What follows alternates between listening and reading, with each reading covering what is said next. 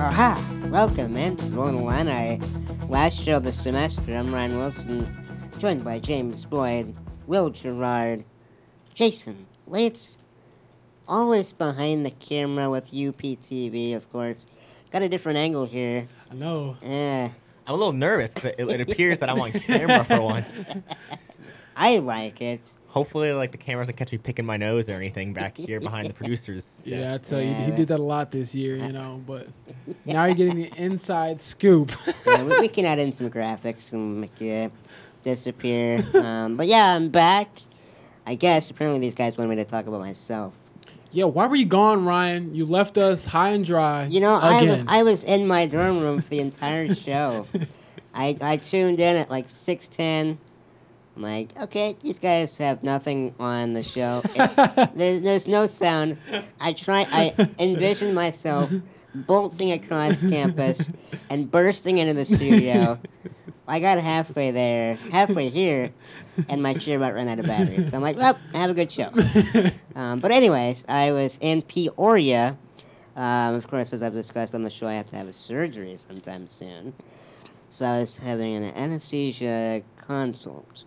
Basically, they, what what they do is they look at my neck, because in my surgery they have to put a tube down my throat, and that's pretty risky. So I realized that no matter which surgeon I do, if they just take the rod out of my bone, or if they break the bone and take the rod out and replace it, uh, no matter what, they'll stick a tube down my throat. Um, so if they just take the rod out, they just what they'll do is they'll put the rod right at the, the tip of my throat. So it won't go down the pipes. Um, but I do believe I'll be pursuing that option sometime soon, in the next month or so. So I'll be having surgery. Hopefully, I won't be out too long. For the surgery I'm looking at, it'll just be a week. So I'll be back in business and hopefully forcing James into another sled. yeah, so as Yeah. you all just heard, he did not ditch us for, you No. know, I guess, pointless reasons. I guess it was pretty important that Yeah, you go to that. it and felt get things pointless. figured out.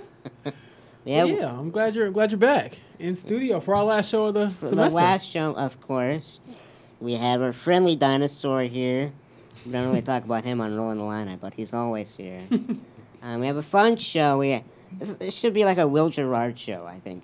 I think so. The producer man really outdid himself. Yeah. I just had a busy week, you know. Yeah, I would I would believe that. Okay, yeah. Um, finals week, um, and and then Will comes into the studio with, what is it like five guests? Yeah, you spoke with five guests. I spoke with uh, five four people. different people for this Four different particular people. story. Yes. Yeah, so Will did a, a fantastic podcast for us about the history of the NWBA, the National Women's Basketball Association. And interviewed a few people, which we'll get to hear in a few seconds. And then, in addition to that, Will, my gosh, uh, I have to catch up to you. Um, Overachiever. yeah, um, so you interviewed, just to tease it, Jeanette Nugent. Like, Why don't you, why don't you, why don't you tease it? Well, um, I had the opportunity to talk to her for a little bit after she went on a tour of DRES on Monday. Actually, Mhm. um, she went there to see a mural dedicated to her husband Tim Nugent, and um, and then that afternoon we had a little we had a little phone interview. So that was kind of uh, that was that was a strong uh, starting point. I actually talked to Mike Frogley the Friday prior. He uh, former men's and women's uh, wheelchair basketball coach here at the university. Um, someone that is um, real involved with um, Team Canada. We actually played part of that um, interview on Friday for our dedicated listeners out there. So, and then after that, um, who are some other people I talked to? I talked to Matt Buchi. Mm-hmm. He's always a lot of fun to interview. Just got Yeah. caught him for a few minutes after practice. Mhm. And then Marty Morse, who um, actually was the head coach of the track program for many years and served as an assistant under Hedrick, uh, Brad Hedrick, who Yeah. was the basketball coach here. Yeah, so There, it was it was a real it was a real long conversation actually. I was kind of frantically trying to cut it down for something that we could use for the radio. So there's actually a few um, segments that won't be included. I thought I, I, Right. I'm a little upset that won't make the cut, but you know there's still there's a lot of content there, stuff we can discuss. He he, he talked about our good friend Jean Driscoll. Mhm. He told us about his coaching experiences with Stephanie Wheeler.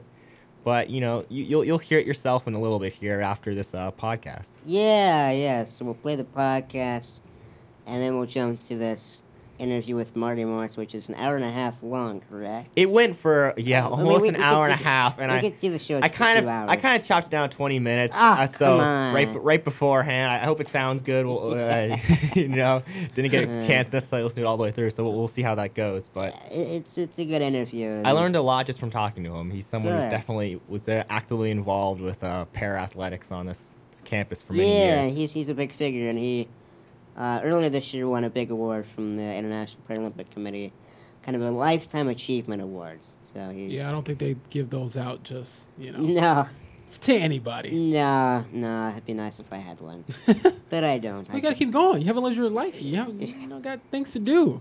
Oh, okay. I'll trust Gotta earn judgment. Yeah. All right. So we're going to jump into this podcast, and as you guys are listening to a 12-minute podcast, the rest of us are just going to. We're gonna listen too. we're not gonna do anything because we don't have to talk. It's all pre-recorded.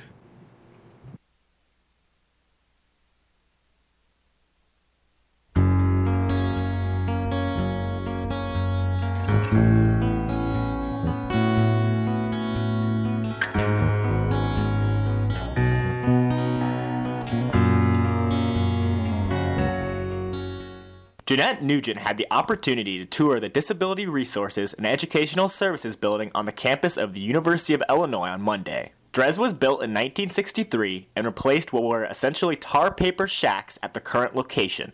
Jeanette is certainly no stranger to the building after working as an occupational therapist at what was then known as the Rehab Education Center, before marrying the man who would one day come to be known as the father of accessibility. he was he had to sign and have power of attorney for all the disabled students that came on campus. And he was on call 24 hours a day. And he was at that time he had very few staff members. If a, a student got hurt or was in an accident or was problematic he would be called. However, according to Jeanette, Dr. Timothy Nugent faced much adversity during his early days on campus. in the early days we had deans that well one dean didn't even want to touch shake hands when at graduation with one of our with the first paraplegic who graduated from the U of I refused to shake his hand because he thought. I mean, it was an uphill battle all the way at the beginning.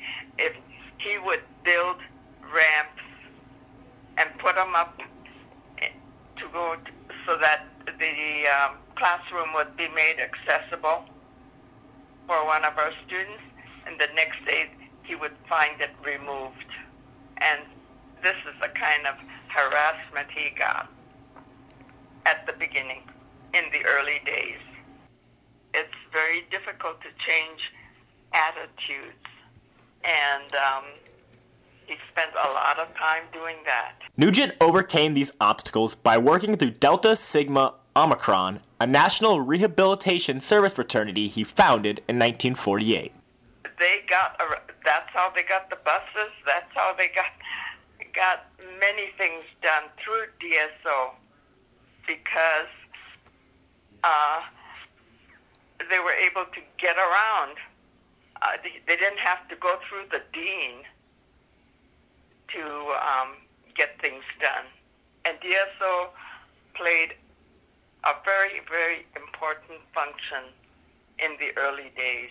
Accompanied by close friends and family, Jeanette visited DRES for the first time in over a year to view a new mural dedicated to Nugent. Just across the corridor, and adjacent from Maureen Mo Gilbert's office, who was a coordinator at DRES, there's another picture of Nugent. In this particular picture, Nugent's arm rests on Mike Frogley's shoulder. For 16 years, Frogley was the head coach for both the men and women's wheelchair basketball teams at the university and currently serves as director of Wheelchair Basketball Canada's National Academy.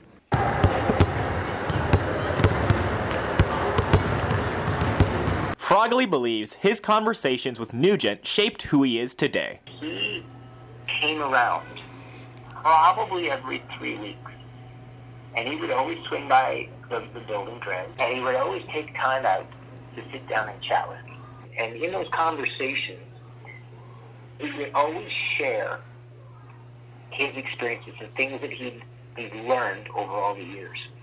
And uh, it was through all of those conversations that I really began to understand a lot about one, how you cause societal change and what it takes.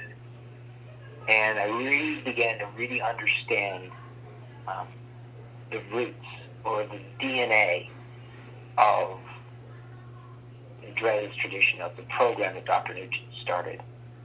And it, all of those things shaped who I am today. Dr. Nugent always talked about, he always showed me that it, takes tremendous will to cause change. What I think is great about wheelchair basketball, it's one of the things Dr. Nugent and I talked about, is that when a person comes into the gym and they see wheelchair basketball for the first time, they're walking into the gym and they're thinking, they're seeing these people pushing around the chairs and they think this person can't run, this person can't jump, this person can't go upstairs. They think of the things that they can't do, and then they watch a wheelchair basketball game, and as you hear people talking during the game or walking out after the game, they they start they're saying things like, "Wow, did you see that person hit that three? Did you see how fast they were? And you see a person get up after they got knocked down?" And now they started to talk about things that people did and not pe- things people can't do. During the early 60s through his retirement in 1984, Nugent went on road trips all over the country with the team on their Greyhound bus. He used to go on these spring break trips down south to play with some of the black teams because nobody wanted, the white teams didn't want to play with them. And so he would take his, the, at that time they were called the Gizz Kids. He would take them down and they would play with them and have training sessions on ball handling and all that. And he even slept in a, uh, in a, in black hotels because uh, the university at that time had a rule that if you had a student, they had to be chaperoned. He had one black player on his on our Gizz Kids team, and so one night he would sleep in the black hotel with with the black student, and then Chuck Elmer, the physical therapist who also refereed the games, um, would they would take turns sleeping in a black hotel. Back in 1981, Morse enrolled in the university with dreams of studying kinesiology and was fortunate to have access to Freer Hall because Nugent arranged the installation of a concrete ramp for the building in time for school, despite the fact that it was without one when Morse visited the campus in July.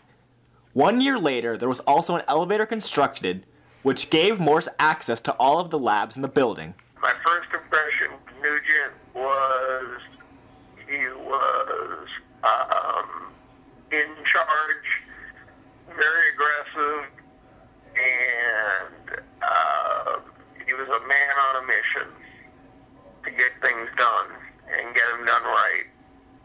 He, could have a pretty sharp temper and um, he de- he demanded excellence, but for some reason he and I never had a problem. We uh, um, I would go down to his office and talk to him. Um, sometimes unannounced, just show up, and um, a lot of times when people from all over the world would come to DRES, Jim would want to show him around. He'd ask me to come in and do it with, you know, with whomever was uh, here from the time he retired to the time he died, he was never stopped moving. I mean, you need to remember he started the battle in Champaign-Urbana on this campus in 1950. And right up to the day he retired, he was fighting it. Morse recalls a specific instance of when he first recognized Nugent's impact on the sport of wheelchair basketball. in 1984, 80, 85, I went to the uh, to nationals, and um, Brad Hedrick was unable to make the trip, and he wanted to make a rule. There was a rule change that he wanted, and um, so I had to give a proposal to the uh, executive committee of the NWBA. Okay, so Nugent's down. He, he, you know, he's president. Almost the entire executive committee of the NWBA was were all Illinois grads.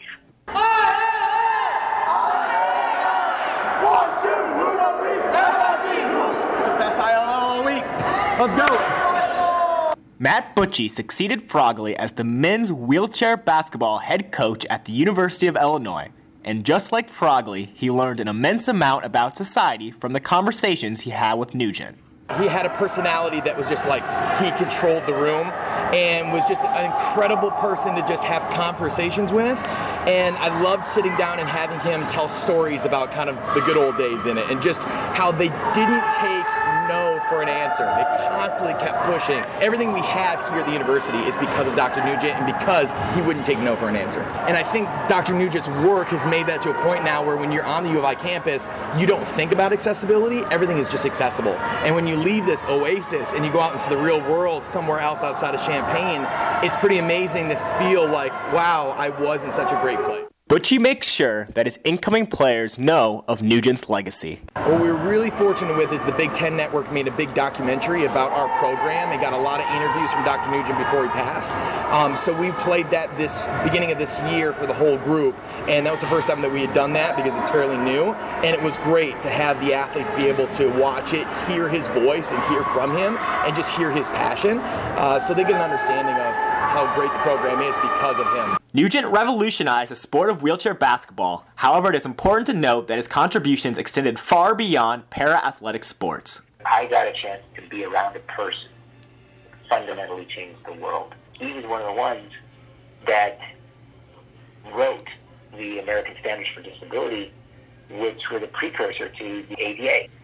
And that, that's the impact Dr. Nugent had.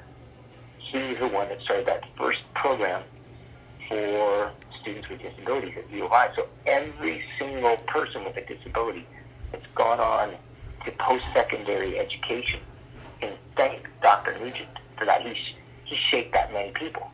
Every single time I go up a curb cut, I have the physical accessibility because of the contributions of Dr. Nugent. I got to sit, I got to chat, I got to spend time with a person that changed history. Thanks for listening. This was producer man Will Gerard for Rollin' Illini on WPGU 1071.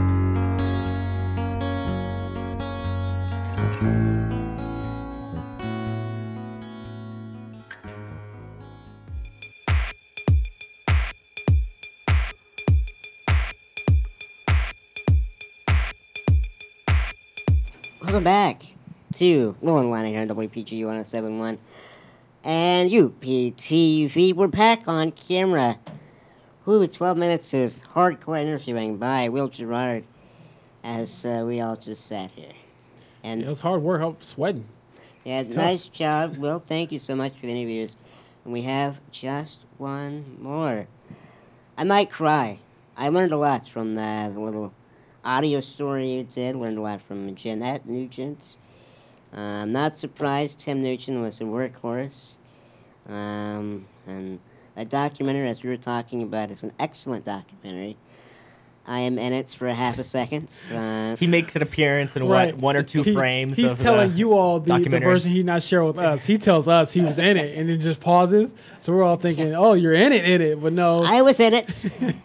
it wait, it just, just the camera just happened to catch him. Not the other way around. That's kind of what happened. Yeah, they, they set up their, their tripod at the intersection. As I was crossing, apparently they were recording. Yeah. So, They said, "Who is that handsome young man? We have to get him." yeah, in our documentary. I'm sure that's how they felt. Yeah. That's- you know that was that was the spotlight of the Big Ten Network. They they made the story around Ryan, and obviously Tim Nugent. yeah, yeah. Here's Ryan and, and here's Tim Nugent. Yeah. We might have a dorm named after him, but this is Ryan. no, Tim Tim is uh, definitely a figure we all kind of look up to and are very thankful for him. And without him, we would not be talking about Matt Buchi and Stephanie Wheeler's success. Um, and and our show would be different. I think we would still have the show. We would just talk about curling. Yeah, Probably not, Yeah, not not feeling that. I'm Sled glad, hockey? Glad the order of events kind of went the Yeah, way yeah, they did. no, no. I think without Tim Nugent, we wouldn't have a show. So thank you, Tim. And I wouldn't have my dorm either. I would live in a- another dorm, but not here. Um, but we have another interview here. We'll do it with Marty Morse. Yes, and More it, in depth. it's about to start off with me asking him about his contributions as an assistant basketball coach. But like we said earlier on the show, he was a real prominent figure, especially when it came to, to track. Um, there's a lot of this interview that didn't actually make the cut just because of you know time constraints, and it's certainly something we'll readdress uh, next semester moving forward. Maybe even have Marty on our show because that'd be kind of cool. He's Yeah. definitely the guy who's uh, full of a lot of stories for sure. I think it's interesting how he and uh, multiple other people that we've interviewed so far had that overlap between track and basketball, and basketball and track, and Right. and how uh, wheelchair athletics is not really limited to just one sport. So Right. this is another yeah, perspective on that. Pretty cool. Exactly. All right, listen in.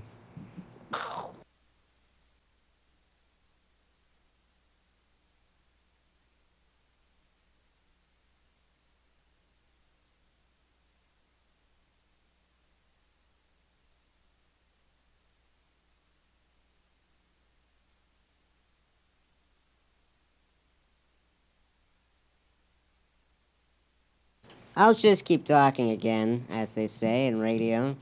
Uh, no, we're having some technical difficulties. Unfortunately, the board we're working with is a little wonky today. I think it's ready for Christmas break and some cookies. just like me. Uh, it's, it's on Christmas break already. B- Um, before we uh, play this last interview here, uh, do you guys want to kind of go over some of the highlights we had for this semester?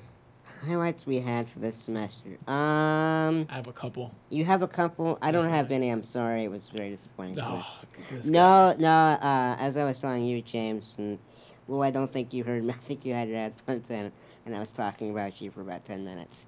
Uh, no, I, I'm very thankful for you guys' help with this show, and one day uh, James is um, uh, working out and pulling muscles with wheelchair basketball with Kane. Shout out to Kane Walters. Um, and the next day, James is in a sled. So thank you. Um, appreciate that. And Will, you've got the podcast.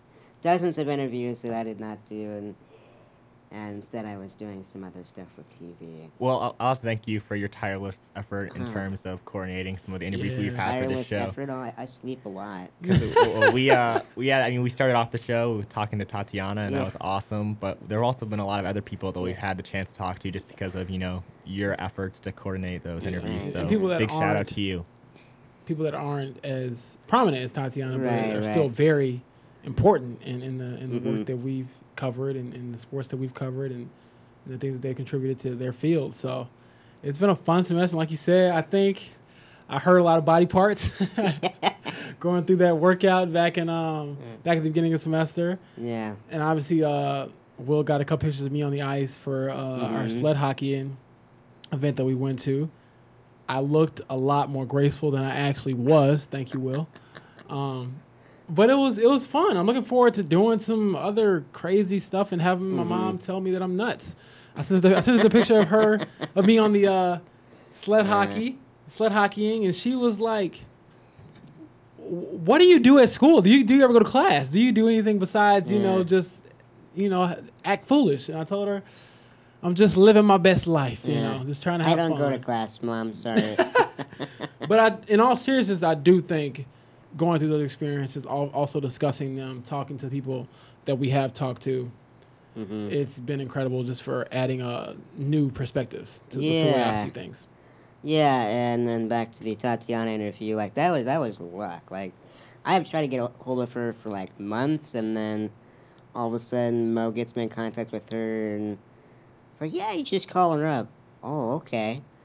Calling her up, no answer, and then like a month later, she's like, I can come on your show. How long is the show? Oh, it's an hour. Okay, I'll be there from six to seven. All right, well, just sign the wall. Um, uh, great. Let's get a few Yeah. pictures. Uh, I guess I will. I'm not. I'll dress up, but great. Uh, I will come with my casual attire as usual. I got. I, I have my plain blue shirt again. Uh, Yeah, that was that was Uh. incredible, honestly, because when you look at somebody that's accomplished that much, Right. And to have them come in and discuss, and also we got to dive into a lot of things that aren't always, you know, mhm. the first thing you see on a Wikipedia page or something right like with that. so- Professor Dash, he was Mhm. very insightful with his great deep voice. Yes, He, He could, is- He could narrate a documentary, I think. I forgot about that interview until you mentioned. That was a lot of fun. yeah, Yeah, that was cool. He was definitely uh, he definitely gave us a lot of tips too on how Yeah. to cover um, impairments, disabilities, and, Mhm. and how we frame what we do. So it was Right. cool to hear him talk about that. And obviously, when you have won awards, Not me, know. but him. yeah, when he's won those, well, Yeah. you as in Yeah. Leon Don't look at me. We've, we've already given a shout out to Kane, but I'd like to also give a shout out to UPTV. Uh, Yeah, thank you so much, Thank you, Jason. Jason. And thank you, Andrew, for uh, Yes, your yes, contributions to our show. it. Yes, yes. He- Yeah. He makes sure we look good. Yeah, I'm sorry we didn't get you a Christmas present. I, are we a gift enough? Okay. Got three of them right for here. Pete's sakes, yeah. Um, but I'm very thankful for everything. Uh, did not expect uh, to have a start a radio show ne- last semester and then this semester on TV. Um, my mistake. Sorry, viewers, to for seeing me uh, once a week. Um, but it's been it's been a good good run so far, and look forward to what next semester brings. I'm not sure what that will bring. That's kind of how I felt. I, I still remember when you texted me over the summer, like, "Hey, Yeah, yeah, doing radio show. Would you like to be a part of it?" I'm like, yeah. "I like to talk, so sure." I knew that much.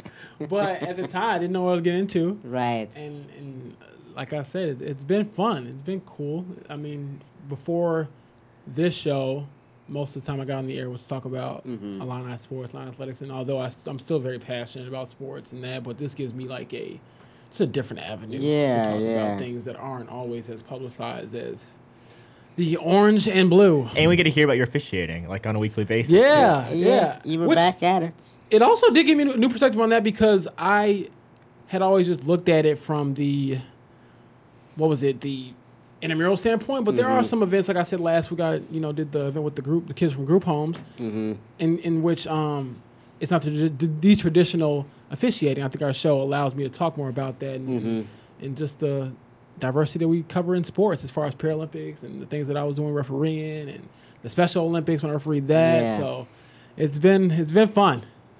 Yeah, yeah. One thing Professor Dash talked about, and one thing I've tried to focus on in my uh, reporting, I guess, for this is that we do a lot of the people first reporting instead of like, oh, this person can't walk, but they can do this. Exactly. Look at this, and James can't do it. Oh, okay. have the wrong person on the show then. But uh, I think what um, Tatiana brings a lot to the Paralympic movement, and and so does every person we've interviewed, and, Mhm. and beyond. The list goes on. And I also like to give a shout out to Jean Driscoll, probably most Jean Driscoll. fiery, passionate, like just joyful interview that I've, that Yeah. I've probably done ever. She was really Just do- talking to uh, her kind of gave me a renewed sense of passion for even journalism. You know, just the way that she was talking about how committed she was to this have that fire. to racing and how you got to have that fire. You know, Right. in, in anything you do in life. That inner fire, as she talked about, it, and then signed the wall. Yeah, she's got to have a lot of it to win. What is it, eight Boston Yeah, marathons? So yeah, I've lost track. Break her own record uh, five consecutive years, I believe. Yep. Uh, you know, just casually. And of, of course, Adam Bleakney has been a big help to the show. He's Mm-hmm. always saying, What do you need? Well, we need this. Okay, we'll come to practice. We did. We just interviewed him last week. I think. I've lost track. Yeah, we sat down with him in an office. Yes, last. we went we went to the wrong conference room and open up on a open the door up on a, a big meeting. Oops, a big meeting of administrators. For the record, it was not our fault. We It- were given the wrong. it was not us. Not no, it was not us at all. But also along those lines, big shout out to Amanda McGrory for Yeah, uh, you yeah, know yeah. attaching a GoPro to the And top of her head. we head. promised the video uh, is sitting coming. down for an interview and um, It'll be out early next just week. being a big supporter of our show. Need a They're excited. premiere aired in a movie theater. This is it. We've been talking about it for three months now. I think it'll be out. It's like the capstone assignment for our, for our show. You know, we'll have it out once we're done this, sem- It'll this be on semester Netflix here. next semester. Probably not. Maybe. I don't know if this net neutrality stuff. We might be missing out on a lot of things. So we'll, we'll try to get it out before then. Before the internet is no longer the internet. The internet internet disappears. We'll get this thing out. And before the interview disappears, with Marty Morse, here it is. I'll just sit here again. Can you kind of explain your responsibilities as assistant coach under Hedrick? Um, as a certified strength and conditioning specialist, um, I was in charge of all fitness for the men's and women's teams. And I did that from 1982 until I retired in 2005. Well, my retirement was 2009, but I stopped working in 2005 because of an illness. Um, but uh, so I did all his. We did the training in the gym. I redesigned the gym and brought in all sorts of equipment, and uh, we designed our own equipment. And the athletes trained. Uh, we were strength training for both uh, basketball and track and field and then I, I did all the the, the skill uh, chair skill training and the uh, fitness training for basketball at practice, and then Brad Hedrick did all the tactical and strategic uh, coaching in practice.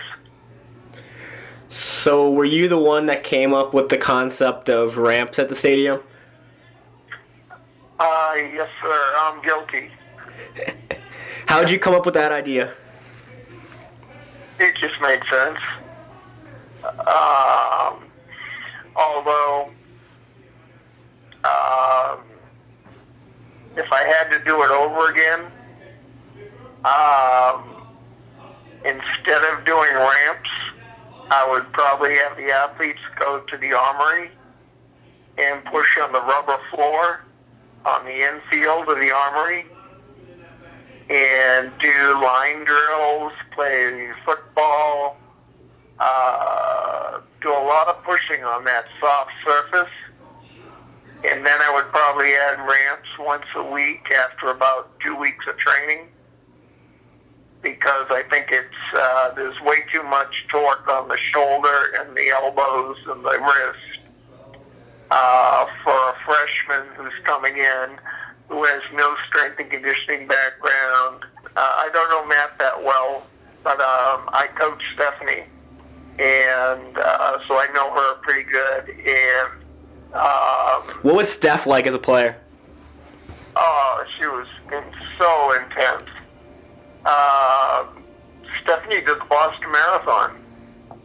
Um, she was on the national team in, ba- in wheelchair basketball, and she comes off the track. And it's like, you sure you want to do this? And she goes, yeah. And she showed up every day. And uh, she, I took her to Chicago. She qualified for for Boston and uh, took her out there. It was pretty painful, but she did it, and uh, she's in the books as, as somebody who had done the Boston Marathon, and that's saying a lot. And uh, I'll definitely have to ask her about that experience. Yep. Um, incredibly proud of Stephanie.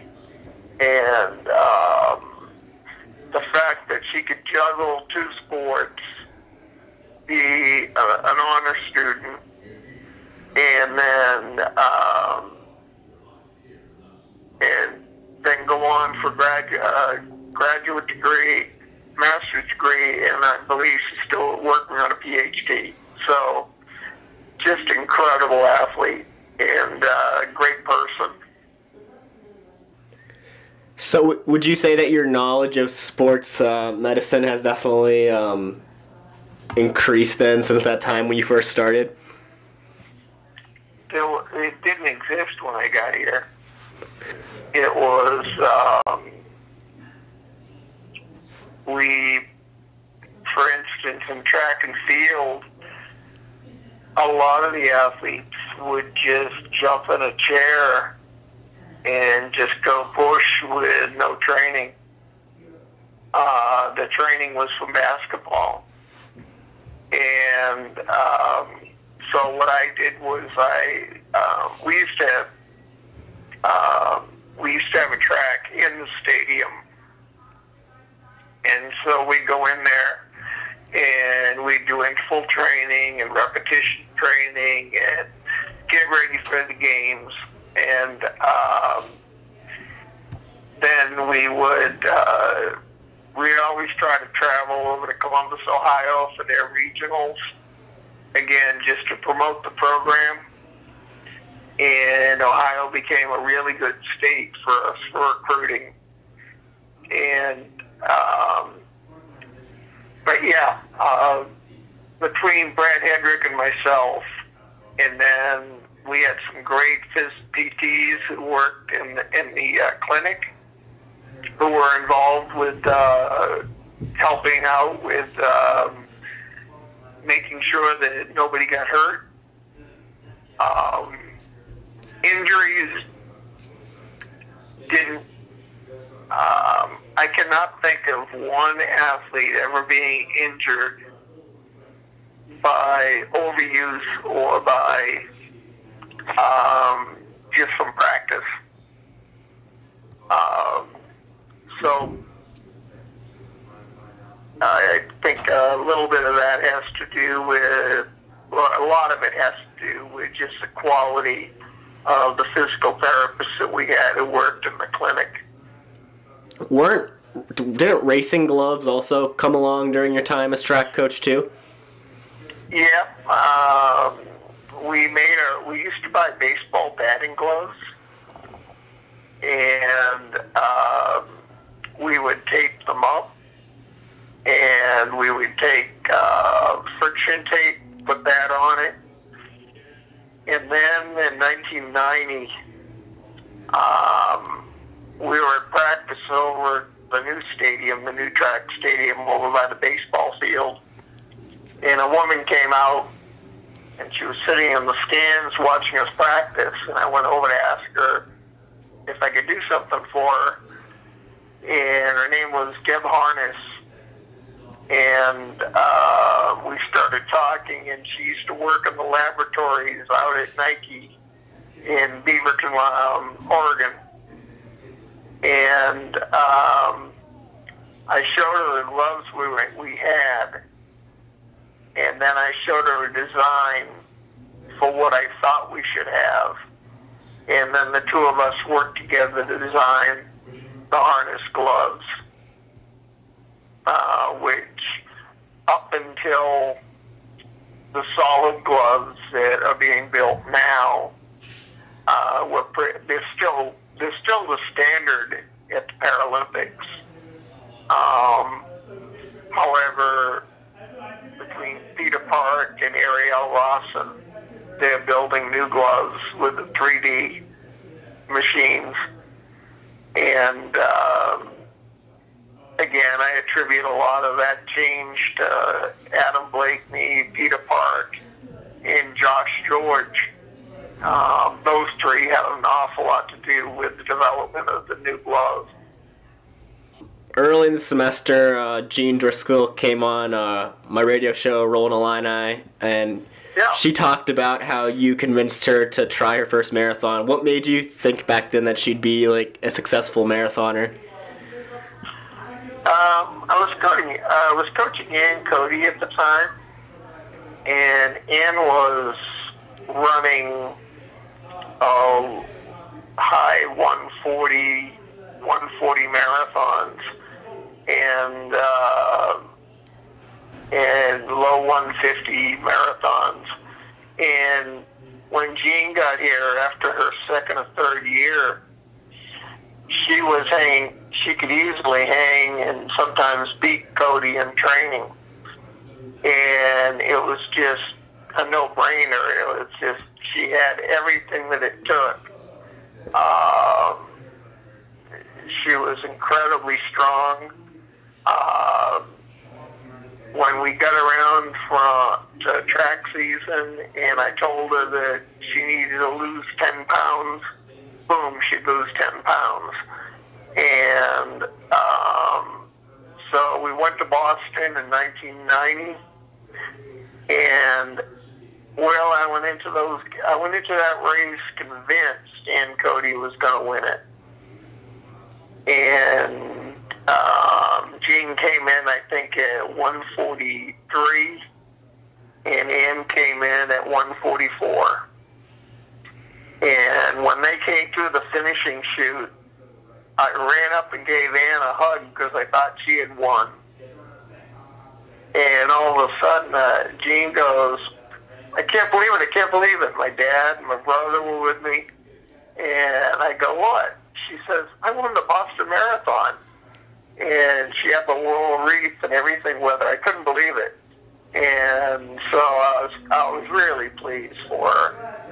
And uh, Jean went on to, did, she did something in, in marathoning that will never happen again, and that was she set the world best time five straight years at the Boston Marathon. And uh, I think she won it, what, six or seven times straight. And um, then we got some great competitions from Louise Savage from Australia. And um, took Jean a while, but she got her eighth win in uh, 2000. What kind of sense of pride does it bring you as a coach to see your athletes perform at such a high level where they're winning marathons and gold medals? I was threatened a couple times by the um, head of the USA delegation because whenever we got to the Paralympics, I would always wear my Illinois polo shirt and my Illinois, my regular work clothing instead of USA uniform. Um, and uh, it just, you know, I, I had the opportunity to do so many fun things. It was, I would, um, you know, people, you know, they, everybody tries to add up all the medals. Somebody threw up a number on the wall down down in the training center, but I know it, I know there's uh, I coach more people than that. Um, but I never, I was so intent, Will, on the next competition that I, I didn't spend a whole lot of time pondering what we just did. It was, um, I think if you talk to Coach Frogley, you get the same response. Is after you win a game and you debrief your athletes and you go over what we can do better the next time, your mind immediately shifts to, okay, what do we need to do to be better? And for instance, we used to come home from the Paralympics, and a week later we'd be doing the National 10K in Wilkes-Barre, Pennsylvania. And that was as important to us because that was more important to us because the winner would get sometimes three thousand, four thousand dollars. So uh, that was real important to the athletes. So um, I regret it sometimes that I didn't sort of take it all in. I never, I tra- I've traveled all over the world, but I never really did any sightseeing because I was working. Um, but I have an incredible amount of pride uh, with what Adam Bleakney's doing. Um, he personifies um, the excellence that Nugent demanded from us and wanted from us. Um, he's a great ambassador for the university, and his athletes are great ambassadors for the university. And um, so uh, I take a lot of pride in um, helping Adam out a little bit, getting him involved in coaching, and uh, in just coaches' education. That's another thing we started here. Um, Jean Driscoll and I with track and field, wheelchair track and field, is we ran coaches' education clinics for 10 years. And then we ran a coaches certification program for about five years. And uh, unfortunately, um, because of my health, I had to uh, step away from it. But um, yeah, I was fortunate. I got a phone call. Oh, I can't remember. It was probably in the uh, oh 2000 from a woman in Maryland who said she had a daughter who was really talented. And she told me she was going to send her out over my Christmas break so I could work with her. And it's like, okay. And uh, Tatiana shows up, and she was, I think, uh, either in eighth grade or ninth grade. And so we put her on the rollers. Um, I worked with her twice a day for a week. And so we worked in the weight room. We worked on the rollers. And then when she wasn't doing that, she would go to basketball. And um, she, uh,